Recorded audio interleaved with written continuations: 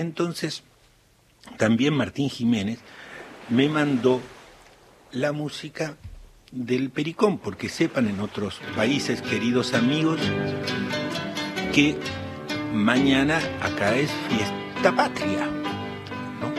Y entonces, con, con, mucho respeto a todos los amigos que nos reciben, que nos alojan oyendo desde Bolivia, México, Estados Unidos, España, Chile, Colombia, Nicaragua, Costa Rica, Uruguay, Paraguay, a todos los amigos que nos oyen de otro lado, les queremos compartir. Entonces, resulta que, fíjate Silvana, que yo oía esto y ayer acá, amigos de otros países, fue, eh, fue un día especial porque se hizo el anuncio de que se iba a prolongar la cuarentena. Entonces mañana día patrio, ayer el anuncio de, o sea, mañana día patrio, ayer el anuncio, sí, digo bien, que se iba a prolongar la cuarentena. Y yo venía de ver la tapa que adelantó el New York Times con, con mil nombres de personas. O sea, la tapa de un periódico. Y este tema se llama La tierra donde nadie muere, ¿no? de Enrico Pienoluzzi. ¿No? Y esa tapa impactante que hizo el New York Times, y no me voy, Martina, no me voy, voy a hablar de la patria. Pero esa etapa tan fuerte que hizo el New York Times era una manera de mostrar, miren, estos son mil personas que fallecieron por el coronavirus. Y aclaraban, aclaran, porque era un anticipo etapa, que son apenas el 1% de los 100.000. Y remataban con una frase algo así como todos cuentan, cada uno cuenta, ¿no? Y a mí me impactó eso. Porque cuando sos una estadística, nunca contás, es como la leva vení vos, vení tu hermano, es, súbanse al camión y vamos, si hay camión, si hay camión. ¿No?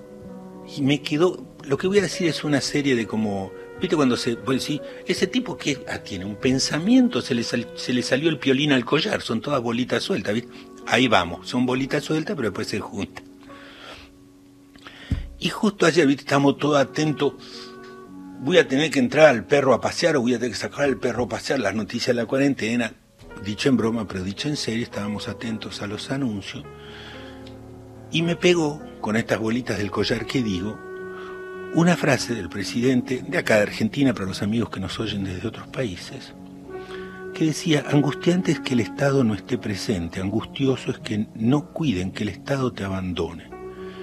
Y me pegó por lo que eso implicaba, Ezequiel, porque vos, que sos varón como yo,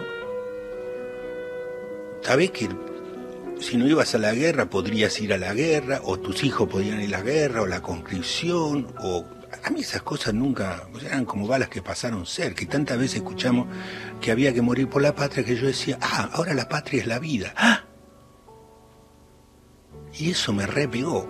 No es que lo dijo, era lo que implicaba lo que decía el presidente. ¿Me entendés? Era no estoy haciendo apología, ña, ña, ña, que página 12, que Clarín, no sé, ni, yo no sé quién miente porque no sé leer.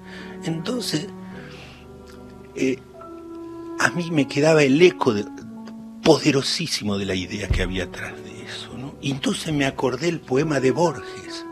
¿Cómo van a poner el poema de Borges después de las palabras del presidente? Calma, compañeros, calma porque hay un poema de Borges, una oda de 1969, que dice, nadie es la patria. ¡Ah! Imagínate qué fuerte, hay cuatro que están apagando la radio en este preciso momento y uno que la estrelló contra la pared. No sé si en otros países son así, Silvana, ¿verdad? Chicos, si su papá estrelló la radio contra la pared, díganle, papá, ¿vos qué querés, un geriátrico dos estrellas? Paciencia.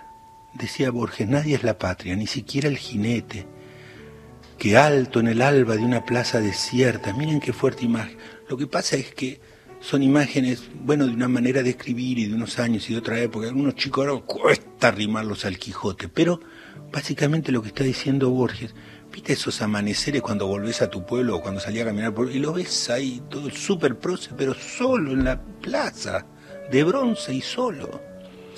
Nadie es la patria, ni siquiera el jinete que alto en el alba de una plaza desierta rige un corcel de bronce por el tiempo.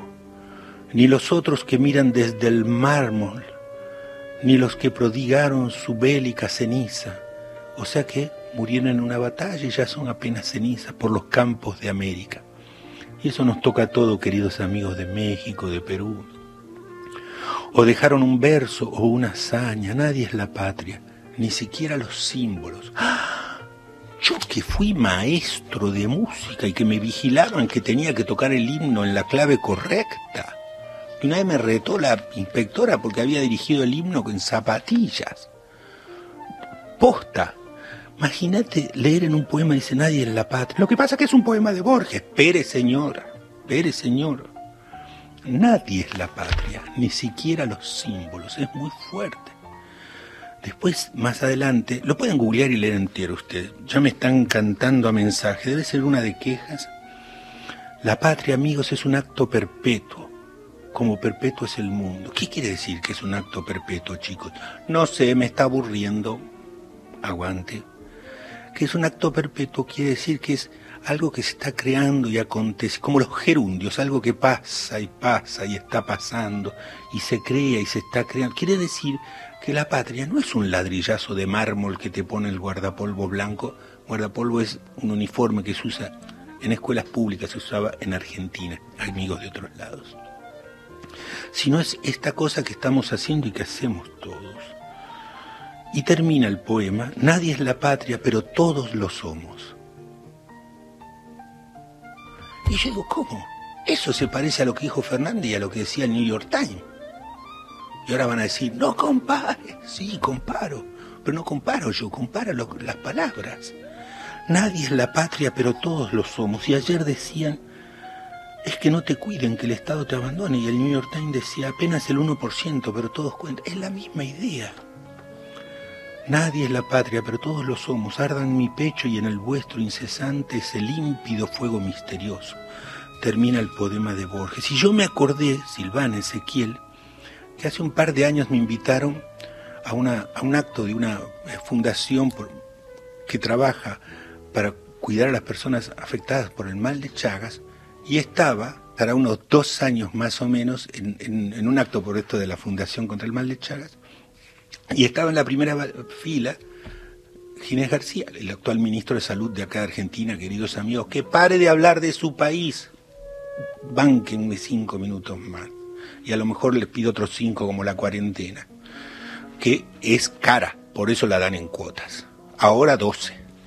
Doce veces prorrogada. Entonces, estaba él con su esposa, con su mujer en ese acto, y yo dije algo que luego Ginés García se acercó a, a saludarme emocionado, porque lo que yo había dicho, que para mí, estaba hablando del trabajo para niños, pero dije que origen no es destino, y que esa es para mí la esencia de la democracia, que te garantice que tu signo de origen, que tu marca de origen, no sea tu destino obligado, y que eso era lo más grande de la democracia. Y entonces me acordé Maldita memoria. No, oigan, me acordé que cuando le dieron el doctorado honoris causa de la UBA a Daniel Barenboim, por esos azares de la amistad me tocó estar ahí en el rectorado, en una pequeña, o sea, en la oficina del rector, con pocas más personas, ni chapeo con esto porque fui como banderín de moto, se lo juro. Si alguien preguntaba qué hace el señor acá, tenía que salir. Pero estuve y lo vi. Barenboim le preguntaba al rector cuántos alumnos tiene la universidad, la UBA. Vale decir que sería la UNAM en México. Y entonces el rector le decía, no me acuerdo si 370 o 350 mil alumnos. Y él le traducía a la esposa, a la señora, a la viuda de Edward Said, en inglés le traducía, imagínate, 350 mil alumnos, una universidad pública, gratuita. Porque no lo podía creer. Dice, esto en Europa, esto en Estados Unidos, es increíble, como si fuera la UNAM estas universidades de excelencia grandes y gratuitas. Y entonces, hoy 24, con todo lo del 25 de mayo que va a ser, no, sí, 25 de mayo que va a ser mañana, yo termino y remato y digo que por suerte decimos, y gracias a la democracia, y gracias a la educación pública, y gracias a la salud pública, yo un hijo de un mecánico y de Elsa, una señora que le tocó tejer para afuera, por suerte digo que origen no es destino, y eso es la patria para mí. La patria es la educación pública, la salud pública y el tremendo esfuerzo, por supuesto, de gente que trabaja, de montones de pequeños empresarios que se la juegan, también, claro, con reglas pensadas para aguas para tiburones más grandes, de gente que está en el campo. Y la patria es la UBA, la UNAM, la universidad pública y sobre todo, querida gente, esta idea que hoy me ronda y de que la patria es la vida. Voy a terminar entonces con un poema, pero no es un poema en español, Silvana Ezequiel, es un poema en, tzotzil, una lengua que viene de los mayas y que grabé a Tesh, un poeta tzotzil, en San Cristóbal de las Casas en enero, o es decir, hace cinco reencarnaciones cuando uno viajaba en avión. Entonces es un poema de Tesh. Primero va en tzotzil y luego él mismo hace la traducción al, castellano. Y este es mi deseo para todos en esta fiesta patria, que la que espero que todos nuestros amigos del mundo hispano que nos oyen hagan afectuosa resonancia. Bihubel, Bijubukme tiasate, akomeskel kush elanti toketike, akomeskel lex bonti banomile, bijubukme liachikine, kushishai tikusitik tashbake, tis subetel ike, tis kehimol mute, tis kopuhel chiel kopuhele. Bijubukme tiabee, shnichimahuknosh mesloil, shnichimahuknosh meskehimol. Bijubukme tianie, tayai belgi tinichimetike, tinichimetike, tayai bel smuil tichulte etike, tayai bel smuil tichulbanomile. Bihubuk metiakobe, taspikel ti yanalte etike, taspikel ti ukume, kushistahin tia vigilale. Ya, ahí acaba. Ahí sí, eso sí tiene razón. ¿Lo traducimos al español o? Sí, como. Ay, ¿cómo sería? Que sean sabios. sí, que sean sabios tus ojos, que vean las formas de las nubes, eh, que vean el color de la tierra, que sean sabios tus oídos, que escuchen lo que pueda hacer ruido, el ruido del viento, el canto del ave y las palabras de los hombres. Que sean sabio tu boca, que florezcan su palabra, que florezca su canto, que sea sabio tu nariz, de sentir el aroma de las flores, de sentir el aroma de las plantas, de sentir el aroma de la tierra.